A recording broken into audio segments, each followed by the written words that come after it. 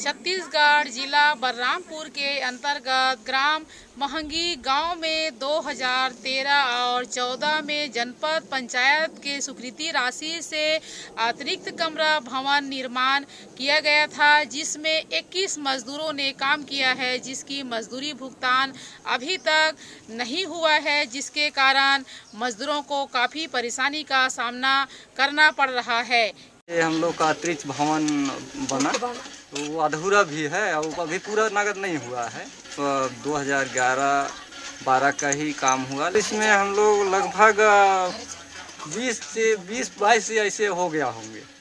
हम लोग बोले कि हाजिरी कागज़ तो कम से कम दीजिए हम लोग कुछ आगे बढ़ेंगे। लेकिन हाजिरी कागज़ तक नहीं देखा है। तो अपने मन से मैं एक ठे भरा था।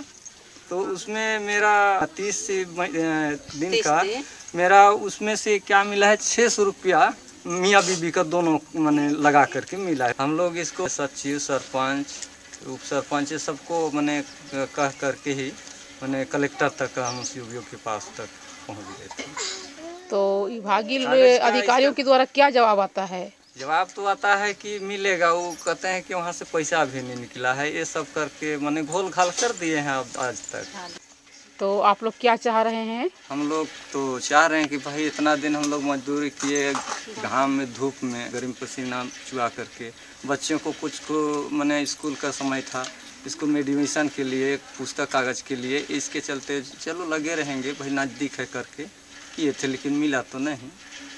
इस समस्या को लेके एकता परिषद के कार्यकर्ता के द्वारा मुझे पता चला, लेकिन मजदूरों की मजदूरी भुगतान नहीं हुआ था। इसलिए मैं इस वीडियो को बनाई हूँ। बलरामपुर सीओ विपुल गुप्ता का नंबर है nine four two five two nine three eight two one. इस नंबर पर कॉल करके दबाव बनाएँ। मैं भान साहू छत्तीसगढ़, इंडिया, अनहट के लिए।